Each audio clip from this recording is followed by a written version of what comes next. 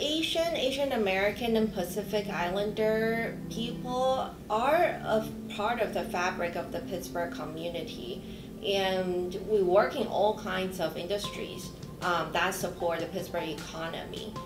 And among the this group, the Asian, Asian American, Pacific Islander, um, at Apala, we really look at the sort of the cross of um, uh, class and race. Part of what we do is providing information about basic workers' rights, the basic employment and labor law that a lot of people don't know exists or apply to them. And we also talk about immigrants' rights. Um, and we provide those information because I believe that when people have the information, then they will be able and willing to stand up for themselves and for people around them. And also, when they know there's resources they can count on, then they will be able to take actions together. And that's how we make our community stronger.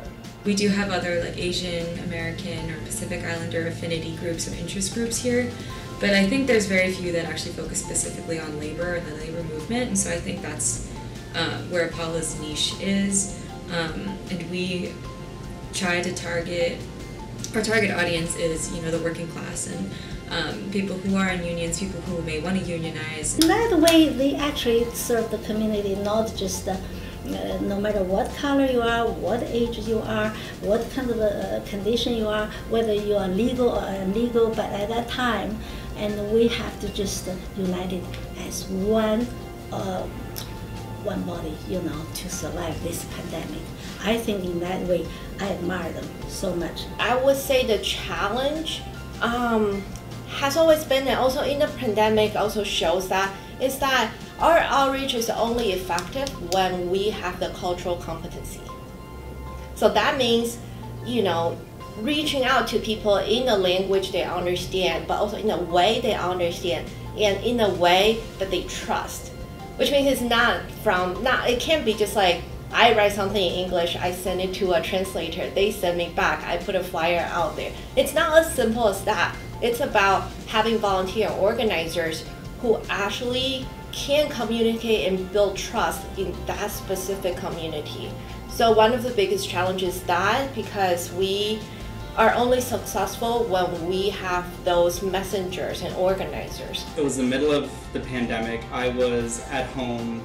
I was I was at home with my family, and I got a text from Vivian at Apala National, and she asked me if I could go out and help knock on doors for uh, the runoff elections in Georgia to help get out more API voters. And I think it was just amazing to me that people from all over the country in Apala were getting on a plane and going to Georgia at this time to make sure that people were getting registered and people were able to vote despite all of the efforts to prevent them from doing that. And so Apala has been very fortunate to help provide a lot of cash assistance and um, to families who, who you know were really greatly impacted by the pandemic.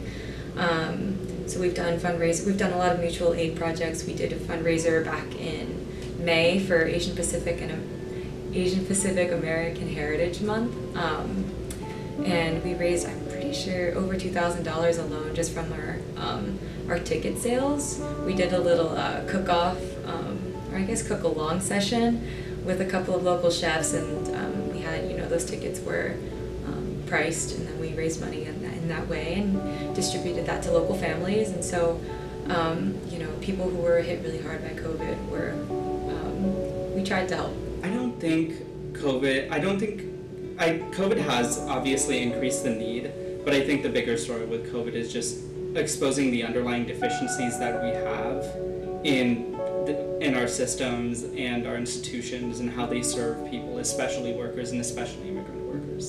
So basic knowledge about what their rights are um, turned out to be very important for people that were just struggling to put food on the table.